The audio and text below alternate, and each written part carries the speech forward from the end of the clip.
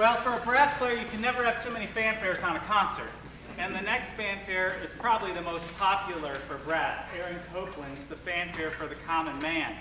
Uh, composed in 1942, uh, really as a response to the United States going into war. And while all these other composers are writing music for the heroes uh, in war, he's writing a fanfare for the common person, for the wife left behind, the children. This, this is who the fanfare is for. Um, before uh, we play this next piece, uh, I just want to talk about some of the people in this ensemble because without them this wouldn't be possible. Um, so if you are a high school student, could you please stand up?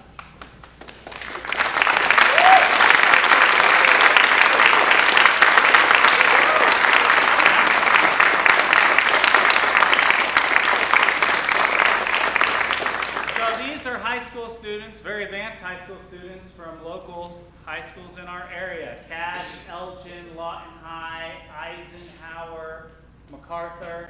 Did I forget any? Yeah, so give another hand for these high schools.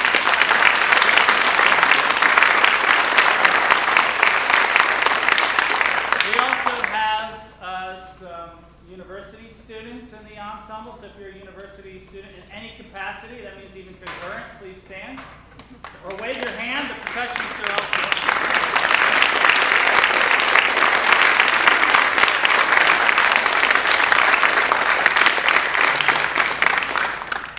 And then everyone else stand up. So these people, yeah, they're band directors, uh, local musicians.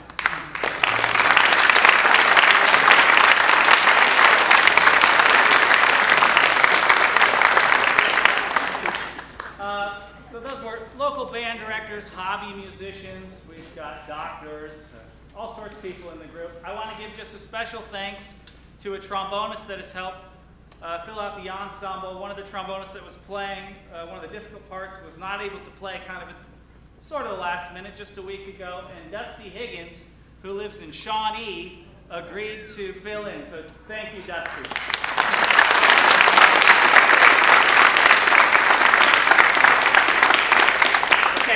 stand here for the common man.